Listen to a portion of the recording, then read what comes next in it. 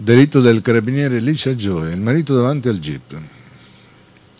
La Procura ha presentato al GIP richiesta di rinvio a giudizio per omicidio nei confronti di Francesco Ferrari, l'agente di polizia di 45 anni in servizio alla questura accusato di aver ucciso la moglie Licia Gioia, la sottufficiale dei carabinieri ritrovata morta la notte del 28 febbraio 2017 nella villa della coppia incontrata a Isola.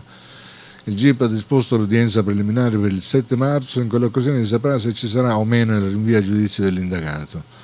Per i magistrati il movente è da ricercare in una lite tra marito e moglie finita in tragedia con quel colpo di pistola che ha fracassato il cranio della vittima. La coppia, che era sposata da pochi mesi, avrebbe avuto problemi legati, secondo una tesi investigativa, alla gelosia della donna per il marito e questa sarebbe stata la molla, a parere dei magistrati, dello scontro in quella drammatica notte nella villa di Contrada Isola. Per il marito invece Licia Gioia sarebbe puntata alla tempia la sua arma di ordinanza e nonostante i suoi tentativi di dissuaderla e di strapparle l'arma non sarebbe riuscito nell'intento.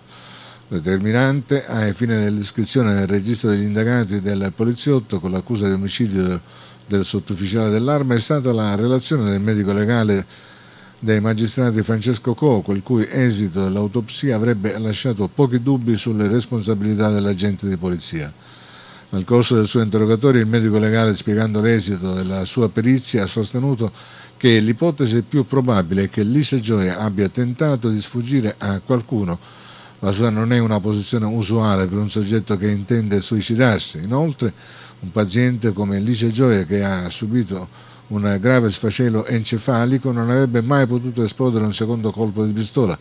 Gli spari partiti dall'arma, un calibro 9 nella disponibilità di Licia Gioia, sono stati due, ma quello fatale, secondo il medico legale, è stato il primo, che ha centrato la testa alla vittima ferendola a morte.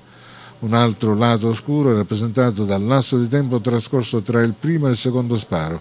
Per Coco con una buona ragionevolezza logica e scientifica sono trascorsi dai 10 ai 20 secondi. C'è però un'altra perizia, quella di, eh, disposta dal GIP ed eseguita da Domenico Compagnini, che invece andrebbe in direzione della tesi fornita dal poliziotto.